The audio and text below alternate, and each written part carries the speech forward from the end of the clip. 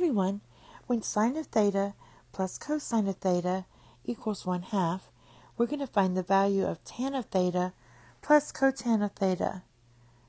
The first thing we're going to do is look at this one and square both sides. We're going to take our sine of theta plus cosine of theta equals 1 half and then just square both sides.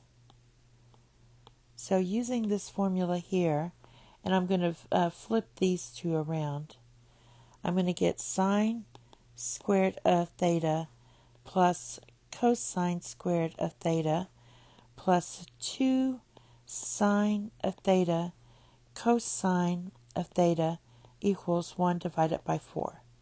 All right, this equals 1. So now I have 2 sine of theta cosine of theta equals 1 divided by 4 minus 1. Then you divide both sides by 2. So we're going to get sine of theta cosine of theta equals, now this is negative 3 fourths and divided by 2. So sine of theta times cosine of theta is negative 3 divided by 8. And we're going to use this information to find this.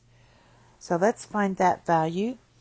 Now for that, uh, let's break it up. So we have for tangent, we have uh, this equals sine of theta divided by cosine of theta.